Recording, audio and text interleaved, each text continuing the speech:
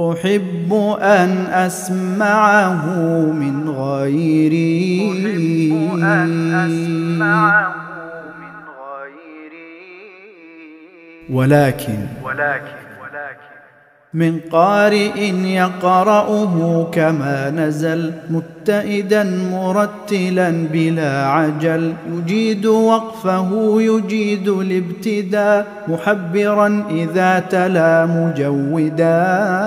تزيد من سماعه تعلما. يروي الفؤاد صوته من الظما. لا من يلوك فمه الحروف ويهدم الصفات والوقوفا والصوت قط لا يكون حسنا. إن لم يكن تجويده قد حسنا فليس شأنه كما شأن الغنى إذ في اللحون يحصرون الاعتناء. وليس معناه زوال النغم بحيث يخلو الصوت من ترنم فلا تشبه ما اسمه التغني بما عليه يصدق التجني.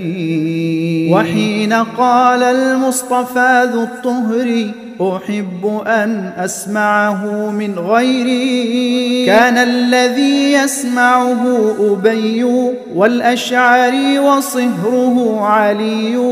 أو ابن مسعود فنعم من سمع ومن تلا فنهجهم فلتتبع. فليس كل قارئ يسمع له تفاوتت في القارئين. المنزلة.